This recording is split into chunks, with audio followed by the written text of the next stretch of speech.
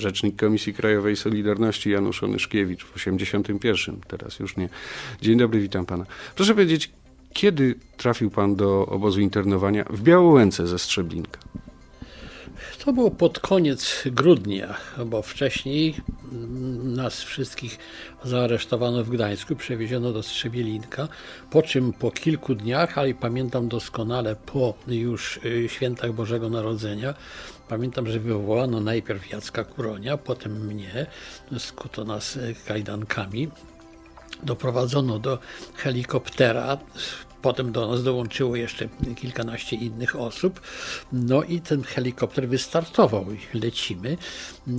Widzę, że jesteśmy nad morzem, więc się pytam siedzącego obok nas milicjanta, dokąd nas wieziecie. Powiedział do Kaliningradu. Sobie pomyślałem, no to może być niedobrze e, ale jednak okazało się, że nie Kaliningrad, wylądowaliśmy na Bemowie i potem już nas rozdzielono i przewieziono do Strzebielinka, a ja wylądowałem w celi z Heniem Wójcem do, do Białołęki, do aresztu w Białołęce. Tak, do aresztu w Białołęce, oczywiście, przepraszam.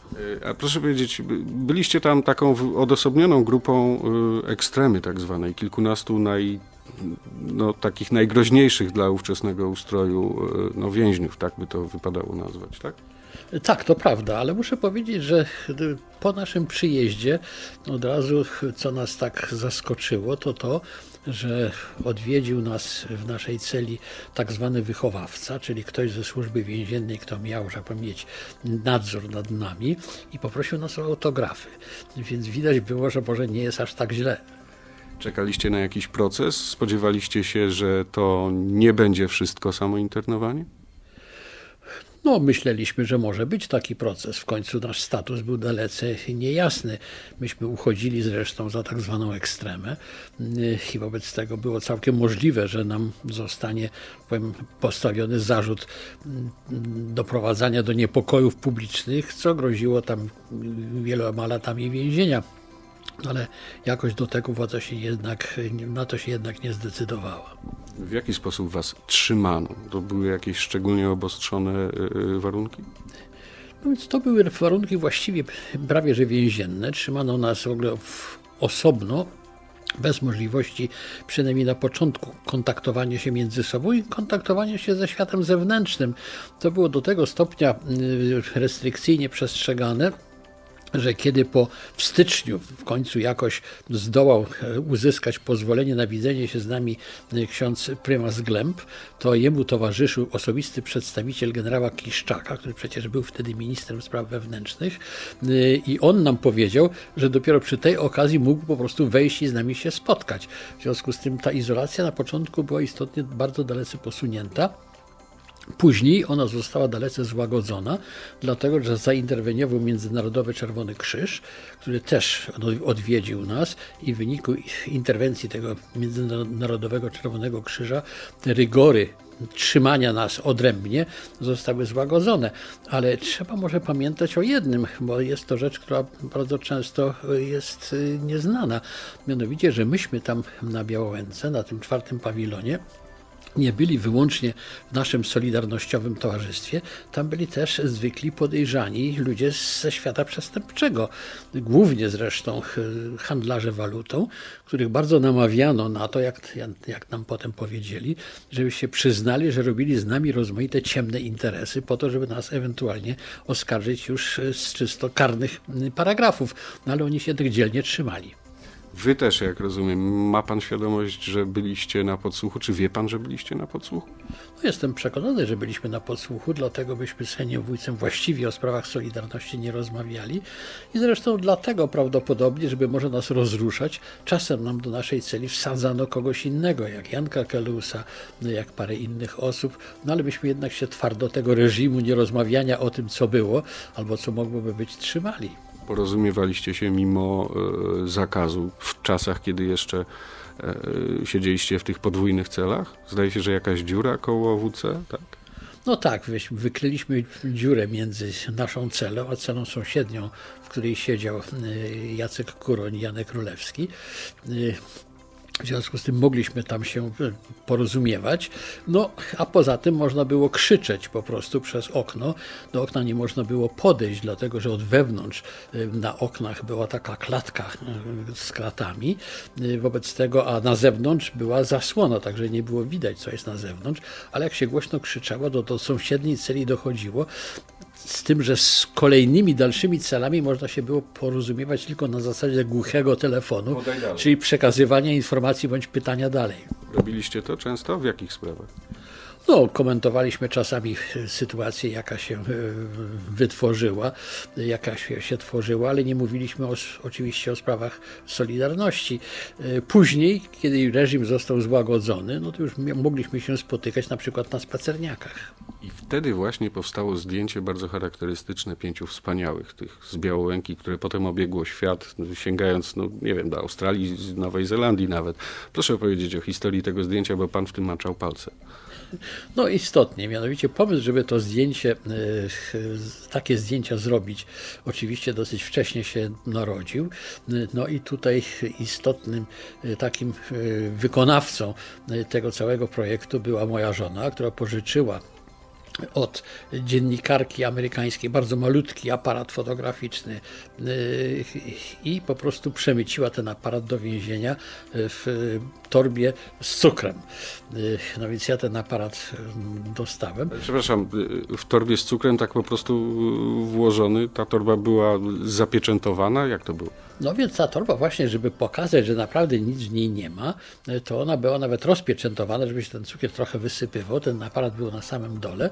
W związku z tym przeszedł dosyć e, gładko kontrolę, bo wszystkie rzeczy, któreśmy dostawali z tak zwanej wolności, były oczywiście przez strażników sprawdzane. No i w ten sposób ten aparat dostałem. Pan wiedział, że on będzie w tej torbie cukru? Nie, nie wiedziałem, ale wiedziałem, że będzie. W związku z tym skrupulatnie wszystko przeszukałem i ten aparat znalazłem. I potem zacząłem tym aparatem robić zdjęcia. No, na niektórych zdjęciach ja jestem sam, oczywiście, bo wtedy prosiłem głównie Janka Kelusa, żeby te zdjęcia zrobił. Szczególnie wydawało się ryzykowne robienie zdjęć na spacerniaku, dlatego że byliśmy cały czas pod tym czujnym okiem strażników. Chodziło więc o to, żeby strażnik faktu robienia zdjęć nie zauważył, bo wtedy by skonfiskował aparat, co jeszcze byłoby y, rzeczą dotkliwą, ale nie tragiczną, ale by przepadły zdjęcia. W związku z tym trzeba było wybrać takie miejsce, którego strażnik by, y, którego strażnik by nie zauważył, a także odwrócić od niego, od tego strażnika, od tego miejsca uwagę. No więc to się nam udało i takich kilka zdjęć istotnie zostało zrobionych. Potem jeszcze była kwestia wyszmuglowania tego aparata, przede wszystkim samego filmu na zewnątrz, co się na szczęście udało i w związku z tym te zdjęcia są dzisiaj ciągle w obiegu. A proszę mi powiedzieć, y, tak sprzeczaliście się, kto ma być na tym zdjęciu, które miało no, podnosić ducha tych, kto, którzy są na wolności? Licytowaliście się, kto ma tam wejść, kto ma zrobić to zdjęcie i na nim nie być w związku z tym? No więc y, to, że na tym zdjęciu nie będzie Janka Kelusa, to było dosyć naturalne, bo on był takim chwilowo nam do celi y, dostawionym, internowanym.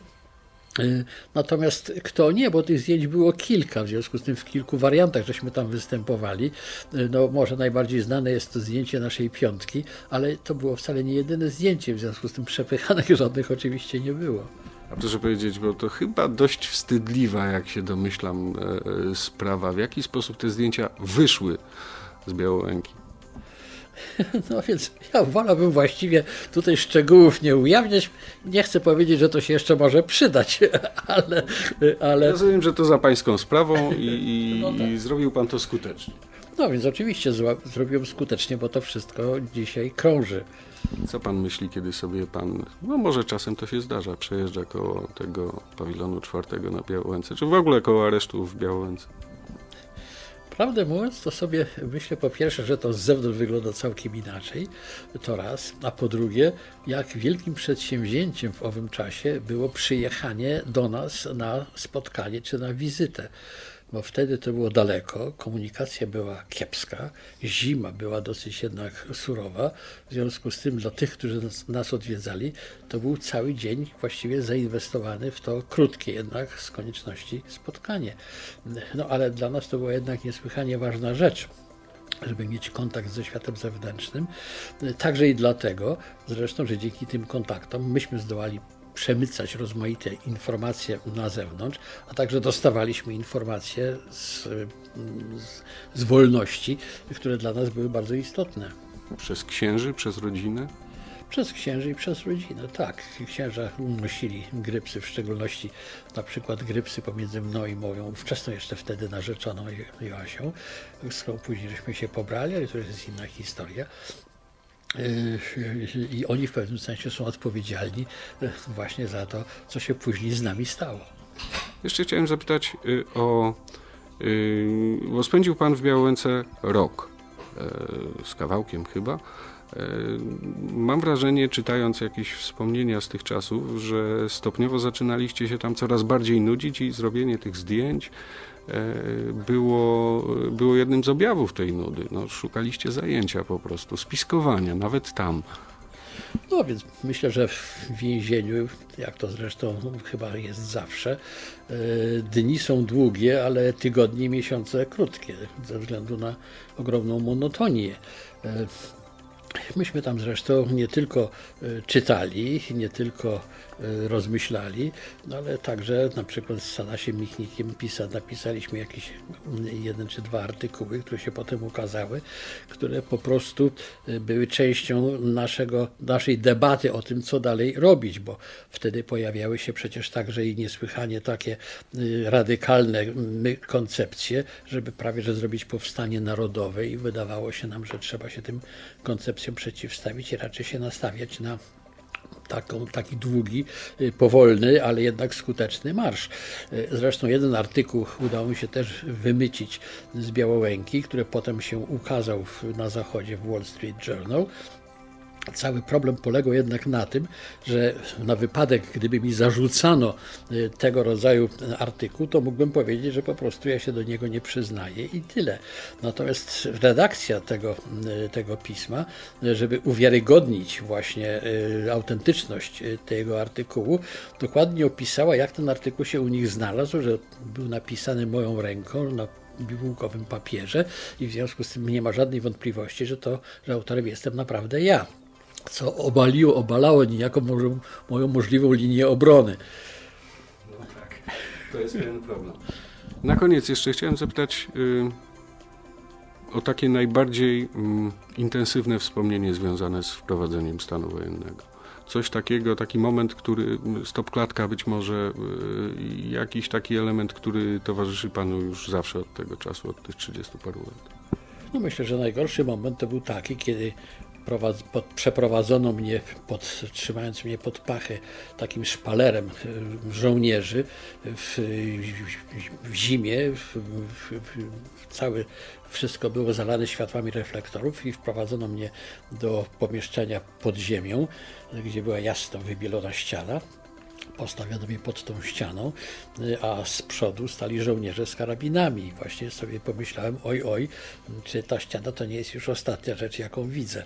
No ale na szczęście okazało się, że jednak nie było aż tak źle. Dziękuję za rozmowę, aby to się więcej Panu nie powtórzyło, ani nikomu z nas.